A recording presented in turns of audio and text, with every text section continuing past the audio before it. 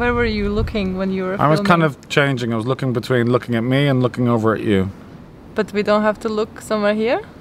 Because then it will look like we're looking at the person. Is this going to be the funny bit before the video?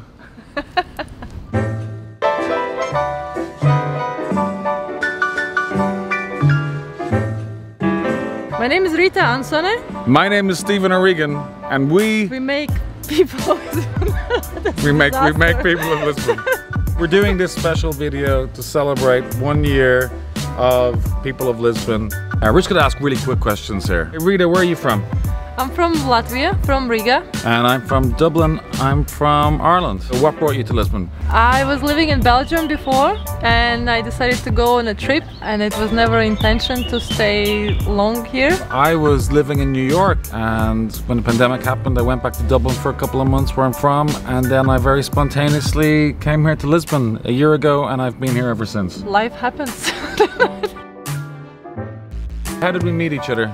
I didn't know many people in Lisbon and I was looking for assistant and my initial idea was to go on Facebook groups and I came across um, recent post which was Stephen's saying that he just arrived from New York and he's a filmmaker. Yeah, so the first time that I met Rita, uh, I was I was an assistant to her, and actually I made a I made a video from the very first day that I met Rita, and I kind of made a little video of Rita, which I guess was a kind of. Uh, the beginning of the idea for people of Lisbon.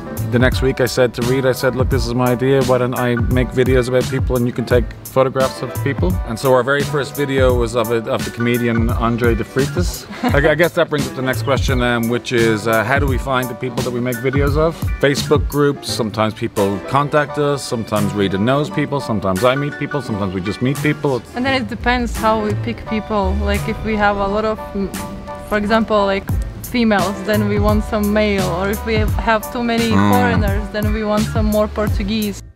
What do you like the most about Lisbon? I like the, the mountains and the, the kind of the hills, the hills of Lisbon.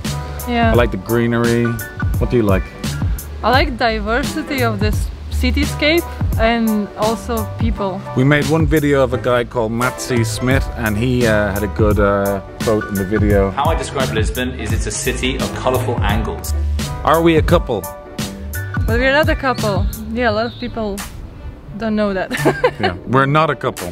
Oh, here's a good one. Do we make any money off people of Lisbon? oh, yes. And I think a lot of people think that we do make money off people of Lisbon, but to be honest, it's just a, it's just a project. It's a it's a labor of love.